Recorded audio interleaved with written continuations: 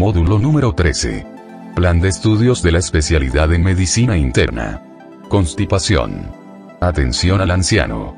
Una revisión realizada en el Hospital Clínico Quirúrgico Docente Miguel Enríquez. La Habana, noviembre de 2021.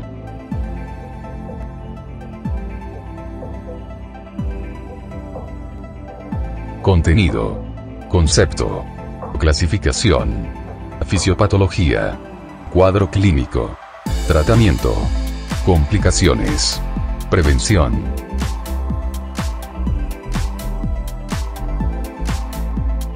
Psicología. Psicología del anciano. Atención psicológica. Orientación psicológica a la familia.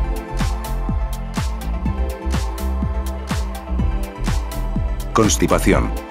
La regulación de la función digestiva se realiza localmente por parte del sistema nervioso entérico, que a su vez está controlado por los sistemas simpático y parasimpático. Los trastornos autonómicos gastrointestinales suelen cursar al comienzo con manifestaciones de distinesia, pero con el tiempo se instaura la denervación y predomina la ectasía. Cuando el proceso se cronifica pueden aparecer respuestas peristálticas paradójicas a causa de infecciones intercurrentes o por respuestas aberrantes. Se deben descartar siempre factores coadyuvantes de tipo farmacológico y de patologías digestivas, úlceras de estrés, colon irritable, etc. La denervación del estómago causa retraso del vaciamiento gástrico, gastroparesía, sensación de saciedad, náuseas, vómitos e incluso pérdida de peso y malnutrición. La prueba diagnóstica más útil es el estudio del vaciamiento gástrico con isótopos radiactivos, empleando alimento sólido, ya que el vaciamiento de fase líquida suele ser normal.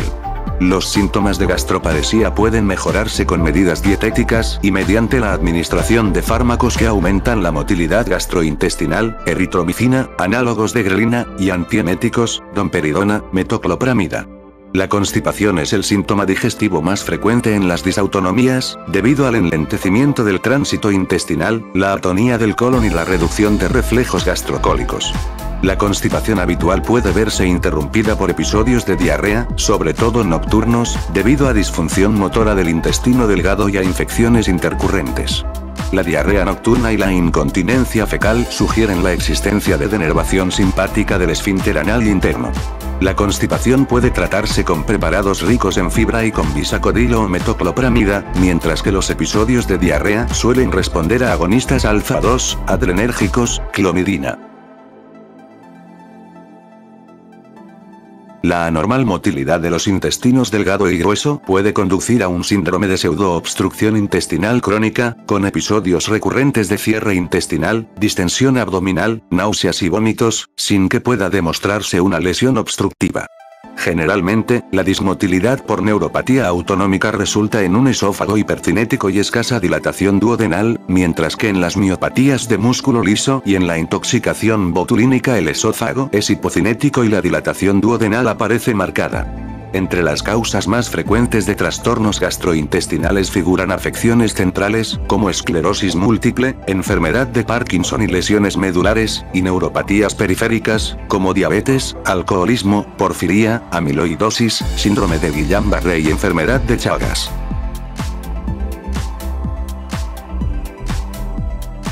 Psicología. Atención al anciano.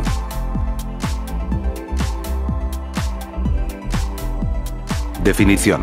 El proceso del envejecimiento produce importantes cambios fisiológicos en el sistema nervioso central, que incluyen cambios neuroanatómicos, de la neurotransmisión y neurofisiológicos. En muchos ancianos, estos procesos causan síntomas y manifestaciones relacionados con la edad, que son muy variables porque están influidos por diversos factores, como la dieta, el ejercicio, el entorno, el estilo de vida, la predisposición genética, la discapacidad, la enfermedad y los efectos secundarios de los fármacos. Estos cambios pueden dar lugar a síntomas comunes de senectud benigna relacionados con la edad, enlentecimiento del tiempo de reacción, hipotensión postural, vértigo mareos, presbicia, presbiacusia, marcha embarada y problemas del sueño. Si no existe una enfermedad, estos cambios fisiológicos suelen producir síntomas relativamente molestos y limitan poco las actividades de la vida diaria, aunque reducen la reserva fisiológica y aumentan la susceptibilidad a los desafíos que suponen los factores estresantes relacionados con las enfermedades, los fármacos y el entorno. Como resultado, el deterioro cognitivo leve, riesgo relativo, 1, 2, y el moderado, riesgo relativo, 1, 4, se asocian con mayor mortalidad. Tabla 27, 1. Cambios fisiológicos del sistema nervioso central relacionados con la edad. Cambios neuroanatómicos. Atrofia cerebral. Disminución del número de neuronas. Aumento de placas neuríticas. Aumento de lipofuscina y melanina. Cambios de la neurotransmisión. Disminución de la transmisión colinérgica. Disminución de la síntesis de dopaminérgicos. Disminución de la síntesis de catecolaminas. Cambios neurofisiológicos. Disminución del flujo sanguíneo cerebral. Cambios electrofisiológicos, enlentecimiento del ritmo alfa, aumento de la latencia en las respuestas provocadas. Tabla 27, 2. Manifestaciones neuropsiquiátricas de los cambios fisiológicos relacionados con la edad. Sistema. La cognición. Manifestaciones. Falta de memoria. La velocidad de procesamiento disminuye a lo largo de la vida adulta. El estado neuropsicológico se deteriora. Atención selectiva, fluidez verbal, recuperación, percepción visual compleja, análisis lógico. Sistema. Los reflejos. Manifestaciones. Los reflejos de estiramiento pierden sensibilidad. Los reflejos de los tobillos disminuyen, o desaparecen. Los reflejos autónomos y de corrección disminuyen, inestabilidad postural. Sistema sensitivo. Manifestaciones. Presbiacusia, pérdida de la audición de frecuencias altas, acúfenos. Deterioro del sistema vestibular, vértigo. Presbicia, disminución de la elasticidad del cristalino. Reactividad pupilar más lenta, mirada fija. Deterioro del sistema olfativo. Disminución de la sensación vibratoria. Sistema. Marcha y equilibrio. Manifestaciones. Marcha embarada, lenta, inclinada hacia adelante. Aumento del balanceo corporal y falta leve de equilibrio. Sistema. Sueño. Manifestaciones. Disminución de la eficacia del sueño, cansancio. Se despiertan más veces por la noche, insomnio. Disminución de las fases 3 y 4 del sueño. Duración del sueño más variable, aumenta el número de períodos de sueño cortos, cabezadas. Epidemiología. Los trastornos neuropsiquiátricos, la causa principal de discapacidad en los ancianos, son responsables de cerca del 50% de la incapacidad funcional. Se estima que, en todo el mundo, del 15 al 25% de los ancianos tienen trastornos neuropsiquiátricos graves. Estos trastornos se producen debido a enfermedades que aumentan con la edad, pero que no son parte del proceso de envejecimiento normal. La enfermedad de Alzheimer y las demencias relacionadas afectan a aproximadamente al 10% de los adultos de más de 65 años y al 40% de los de más de 85 años. El delirio afecta al 5 al 10% de las personas de más de 65 años y hasta al 80% de los ancianos durante la hospitalización debido a una enfermedad aguda. La depresión grave afecta aproximadamente al 5% de los ancianos, y el 15% tienen síntomas depresivos importantes. El 10% de los ancianos tienen trastornos de ansiedad. Los ancianos también sufren morbilidad y discapacidad funcional importantes debido a enfermedades cerebrovasculares, la enfermedad de Parkinson, neuropatías periféricas, mielopatías degenerativas, estenosis espinal y enfermedades discales, trastornos convulsivos, apnea del sueño, trastornos visuales, caídas, incontinencia e impotencia. Diagnóstico. Para hacer un diagnóstico de estos trastornos neuropsiquiátricos, los médicos deben conocer y realizar una exploración del estado mental y una evaluación de la capacidad funcional, y conocer los efectos secundarios de los fármacos psicoactivos en los pacientes geriátricos. Exploración del estado mental. Además de una exploración neurológica detallada, la evaluación de los trastornos neuropsiquiátricos de los ancianos requiere un examen cuidadoso del estado mental, que incluya el estado de ánimo, el estado emocional y el estado cognitivo. Existen pruebas de detección breves para evaluar estas características y ayudar a detectar los posibles problemas que requieren una evaluación más completa y tratamiento. Una puntuación de 6 o más en la escala abreviada de la depresión geriátrica de 15 elementos, indica síntomas depresivos importantes que requieren una evaluación más completa. En los pacientes con deterioro cognitivo, se recomienda utilizar escalas de depresión evaluadas por el observador, proxy, como la escala de depresión de Hamilton o la escala de Cornell.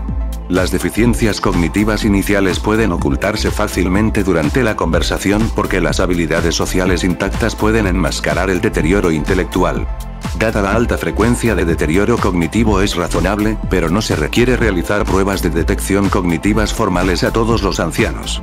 Idealmente, las pruebas cognitivas deben evaluar al menos los campos generales de atención, orientación, lenguaje, memoria, capacidad visoespacial y conceptualización. Para descartar el delirio, lo primero es evaluar la atención pidiendo al paciente que realice una tarea, por ejemplo, repetir números, intervalo normal, más de 5 en orden directo o más de 3 en orden inverso, o recitar los meses del año del último al primero, se permite un error como máximo. El resto de la evaluación cognitiva no será útil en pacientes inatentos o confusos. Existen muchos instrumentos de detección prácticos y breves para realizar más pruebas cognitivas. Históricamente, el más utilizado ha sido la Mini Mental State Examination, una escala de 19 elementos y 30 puntos que puede realizarse en 10 minutos. Este instrumento, protegido por copyright, requiere ahora el pago de una tarifa por uso si se utiliza la versión oficial. Otros instrumentos breves y útiles son el Short Portable Mental Status Questionnaire y el Test Mini Cock. Ambos se completan en menos de 5 minutos. Otras pruebas más detalladas pueden ser la Montreal Cognitive Assessment, para la que se necesitan entre 15 y 20 minutos. Una puntuación menor de 26 indica deterioro cognitivo.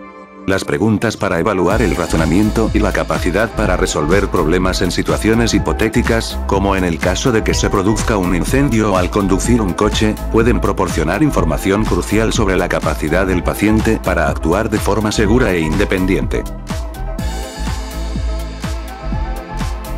Evaluación funcional.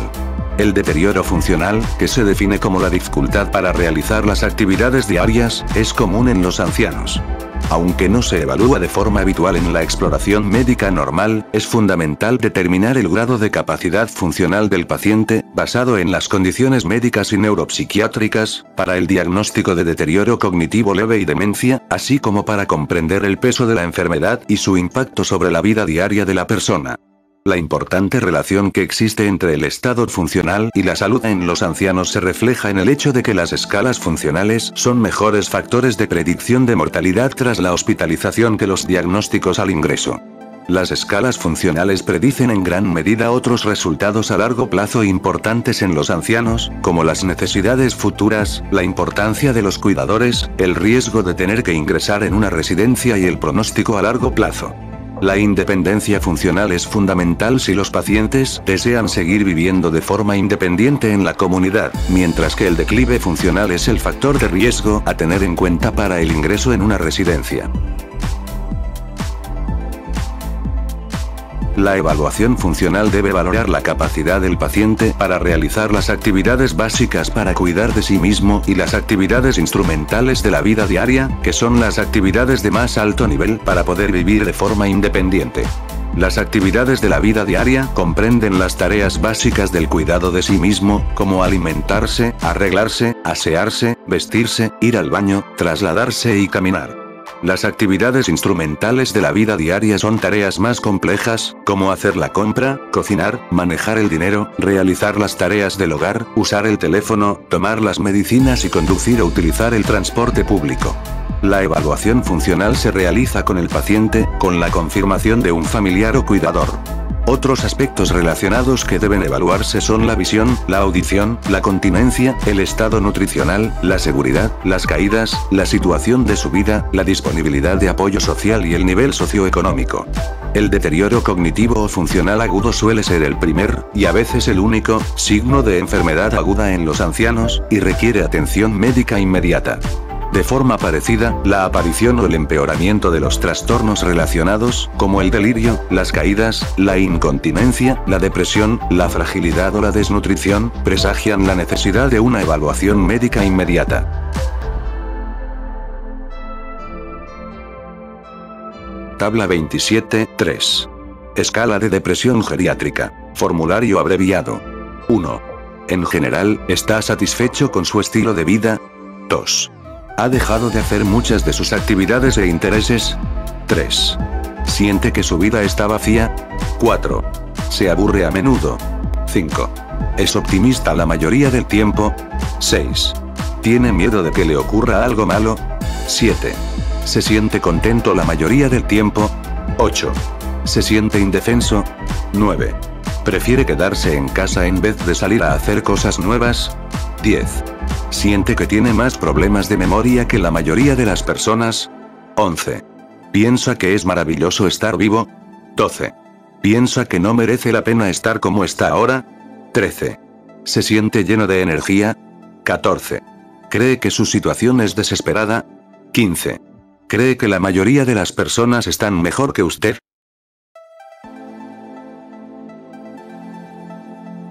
Tabla 27, 4. Cuestionario breve de la función cognitiva. Pregunta-respuesta, y error. ¿Qué día es hoy? ¿Qué día, qué mes, y el año? ¿Qué día de la semana es hoy? ¿Dónde estamos ahora? ¿Cuál es su número de teléfono? ¿Cuál es su dirección? Solo si no tiene teléfono. ¿Cuántos años tiene? ¿Cuál es su fecha de nacimiento? ¿Quién es ahora el presidente del gobierno? ¿Quién fue el anterior presidente del gobierno? ¿Cuáles son los dos apellidos de su madre? Vaya restando de 3 en 3 al número 20 hasta llegar a 0.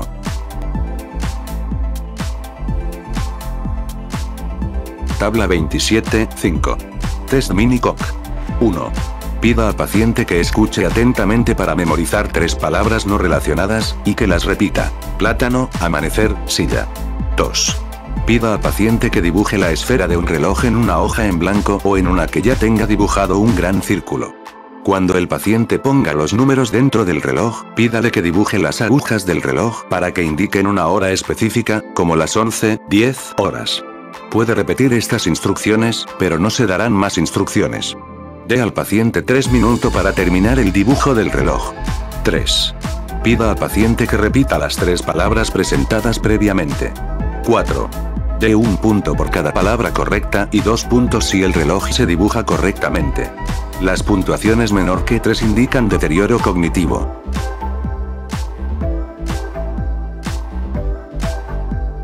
Figura 27, 1. Montreal Cognitive Assessment. Tratamiento. Efectos psicoactivos de los fármacos en los ancianos. Efectos secundarios de los fármacos en los ancianos En el 29 al 38% de los pacientes ancianos hospitalizados se producen complicaciones iatrógenas, es decir, el riesgo es de 3 a 5 veces superior que en los pacientes más jóvenes. Los efectos secundarios de los fármacos, el tipo más común de complicación iatrógena, constituye del 20 al 40% de todas las complicaciones, y al menos el 27% de estas se pueden prevenir. Los ancianos son especialmente vulnerables a las reacciones secundarias de los fármacos, debido a los regímenes con múltiples fármacos, las enfermedades crónicas múltiples, la insuficiencia renal y hepática relativa, la disminución de la reserva fisiológica y a la alteración del metabolismo de los fármacos y sensibilidad de los receptores que se producen al envejecer. Se ha observado que los fármacos se utilizan de forma inadecuada en alrededor del 40% de los pacientes ancianos hospitalizados, y que más de la cuarta parte de estos pacientes tienen contraindicaciones absolutas para el fármaco y al resto se le administran fármacos innecesarios. De los 100.000 ingresos urgentes anuales estimados que se relacionan con fármacos en pacientes mayores de 65 años, los compuestos implicados con más frecuencia son warfarina, 33%, insulina, 14%, antiagregantes orales, 13%, y antidiabéticos orales, 11% puesto que el hasta 50% de las reacciones farmacológicas adversas se producen en pacientes a los que se les administran fármacos inadecuados, la posibilidad de reducir estos procesos adversos es muy significativa. Fármacos con efectos psicoactivos. Casi todas las clases de fármacos pueden causar cambios en el estado mental en los pacientes vulnerables, pero también existen fármacos específicos que los producen y deben utilizarse con cuidado en los ancianos. Muchos casos de delirio o de deterioro cognitivo en los pacientes ancianos pueden prevenirse evitando, sustituyendo o disminuyendo la dosis de estos fármacos psicoactivos. Las benzodiazepinas de acción larga, por ejemplo, diazepam, clonazepam, clordiazepóxido, son fármacos especialmente problemáticos para los ancianos y no se deben usar para tratar el insomnio. Si el abordaje no farmacológico para el tratamiento del insomnio no tiene éxito, se recomienda utilizar benzodiazepinas de acción intermedia sin metabolitos activos, por ejemplo, 0,5 miligramos de lorazepam, que tiene una semivida de 10 a 15 horas, a corto plazo. Los fármacos con efectos anticolinérgicos, por ejemplo, antihistamínicos, antidepresivos, neurolépticos, antiespasmódicos, producen una gran variedad de efectos secundarios muy mal tolerados por los pacientes ancianos, que incluyen delirio, hipotensión postural, retención urinaria, estreñimiento y sequedad de boca. De los narcóticos, la meperidina produce delirio con más frecuencia que otros fármacos debido a un metabolito activo, la normeperidina. Los fármacos cardíacos, como los digitálicos y los fármacos antiarrítmicos, tienen semividas largas, rangos terapéuticos estrechos y en los ancianos disminuye su unión a las proteínas. El médico debe ser consciente de que estos fármacos, por ejemplo, digoxina, pueden producir toxicidad incluso a concentraciones terapéuticas. Los antagonistas del receptor histamina 2, por ejemplo, cimetidina, ranitidina, famotidina, nizatidina, están entre las causas más frecuentes de delirio inducido por fármacos en los ancianos debido a su uso frecuente. Los médicos deben considerar el uso de alternativas menos tóxicas, por ejemplo, sucralfato o antiácidos, o reducir la posología en los pacientes ancianos, especialmente si el fármaco se utiliza de forma profiláctica y no como tratamiento de una enfermedad activa. Los inhibidores de la bomba de protones se han asociado al delirio en algunos casos, pero tienen menos toxicidad neuropsiquiátrica que los antagonistas de receptores histamina 2. Los fármacos psicoactivos causan aproximadamente el 50% de los efectos secundarios que pueden evitarse, a menudo en pacientes que toman tres o más fármacos psicoactivos, y a dosis inadecuadamente altas en el caso de los ancianos. El delirio y el deterioro cognitivo son las consecuencias negativas más frecuentes de los fármacos psicoactivos.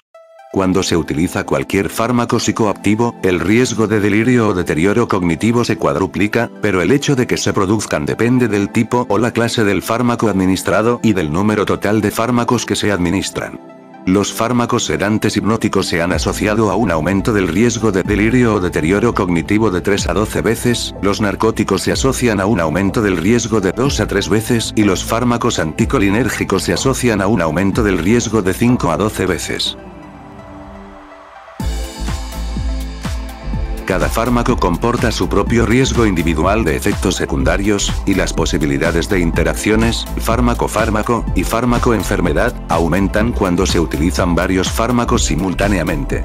Si se utilizan más de tres fármacos en un periodo de 24 horas, el riesgo de delirio aumenta cuatro veces. De forma parecida, el riesgo de deterioro cognitivo aumenta de forma directamente proporcional al número de fármacos prescritos. Si se utilizan dos o tres fármacos el riesgo se triplica, y si se utilizan seis o más fármacos, el riesgo aumenta 14 veces. Principios de la farmacoterapia en los ancianos. Los médicos siempre deben tener en cuenta si pueden utilizarse abordajes no farmacológicos como alternativa a la farmacoterapia en los ancianos. Las técnicas de relajación, los masajes y la música son muy eficaces para tratar el insomnio y la ansiedad. En muchos casos, el dolor localizado puede tratarse de forma eficaz con medidas locales, como inyecciones, calor, ultrasonidos y estimulación eléctrica transcutánea. Si es necesaria la farmacoterapia, los médicos deben elegir el fármaco con menos potencial tóxico y dar prioridad a los fármacos que están bien estudiados en poblaciones de ancianos. En el caso de los fármacos psicoactivos, suele empezarse con una dosis correspondiente al 25 al 50% del habitual para los adultos y se aumenta lentamente. Los regímenes farmacológicos deben ser simples, utilizando el menor número de fármacos y de pastillas que sea posible. Es muy importante revisar la lista de fármacos con frecuencia.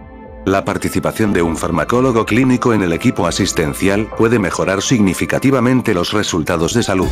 Las intervenciones sistemáticas en las que participan los farmacéuticos geriátricos y clínicos, y el uso de sistemas de control informáticos, también pueden reducir significativamente la frecuencia de reacciones farmacológicas adversas en los ancianos. En personas con demencia o deterioro cognitivo hay que evitar o suspender los siguientes grupos de fármacos siempre que sea posible. Benzodiazepinas, antagonistas de receptores histamina 2, meperidina, sedantes hipnóticos y tiolidacina. Los regímenes farmacológicos a largo plazo también deben revisarse, porque el paciente cambia con la edad y la enfermedad. El uso a largo plazo no justifica el uso continuado. El médico debe revisar regularmente con el paciente todos los fármacos prescritos y los fármacos de venta sin receta, es preferible que el paciente lleve todos los envases de los medicamentos y le indique al médico cómo los está tomando. Es frecuente que los pacientes subestimen el potencial tóxico de los fármacos de venta sin receta y de los remedios naturales, y pueden estar utilizando varios de estos productos que podrían potenciar los efectos secundarios o contrarrestar los efectos deseados de los fármacos prescritos. Por ejemplo, algunos medicamentos de venta sin receta que se consideran de alto riesgo en los ancianos son los fármacos antiinflamatorios no esteroideos, los bloqueantes histamina 2 y los antihistamínicos. Además, los remedios herbales pueden interaccionar con la warfarina, aumentando o reduciendo su efecto, la hierba de San Juan reduce el efecto y dificulta la anticoagulación. El ginkgo biloba aumenta el efecto y tiene el potencial de causar hemorragias. Otros, como cava cava, equinácea y preparados herbales chinos, se han asociado con riesgo de toxicidad hepática.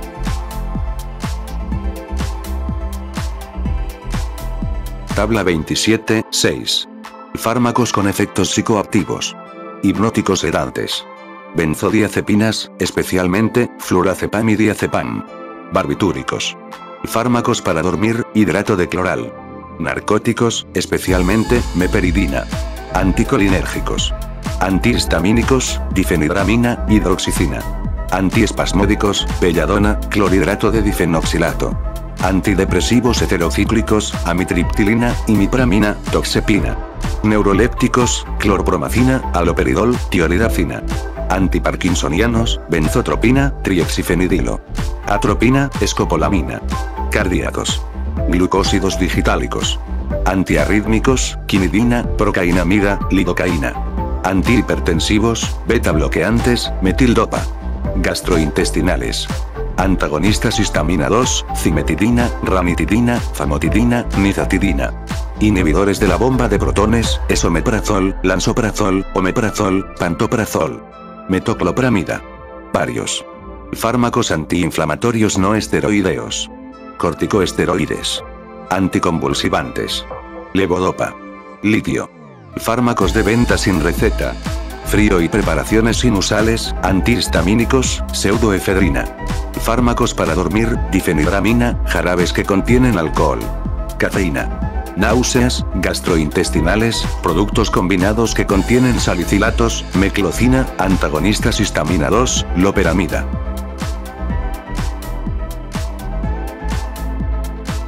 Tabla 27, 7. Directrices para la farmacoterapia en los ancianos. Principios generales. Recordar que los ancianos son muy sensibles a los efectos psicoactivos de todos los fármacos. Conocer la farmacología de los fármacos que se prescriben. Conocer muy bien algunos fármacos. Abordaje recomendado. Utilizar un abordaje no farmacológico siempre que sea posible. Evitar el uso rutinario de cuando lo necesite en el caso de los fármacos para dormir, la ansiedad o el dolor. Elegir el fármaco con el menor potencial tóxico. Sustituir por alternativas menos tóxicas siempre que sea posible, antiácidos o sucralfato por bloqueantes histamina 2, o inhibidores de la bomba de protones, mucílagos de plántago, o bata, o caolín, y pectina por loperamida, planificar la posología de paracetamol para el tratamiento del dolor. Reducir la dosis. Empezar con una dosis baja y aumentar lentamente. En los ancianos, empezar con el 25 al 50% de la dosis estándar de los fármacos psicoactivos. Ajustar la dosis de los fármacos poco a poco. Fijar objetivos realistas. Ajustar la dosis para mejorar los síntomas, no para eliminarlos. Simplificar el régimen. Comprobar la lista de fármacos con regularidad. Pedir al paciente que lleve todos los envases y comprobar cómo toma los fármacos. Volver a evaluar el uso de los fármacos a largo plazo porque los pacientes cambian. Revisar el uso de fármacos de venta sin receta,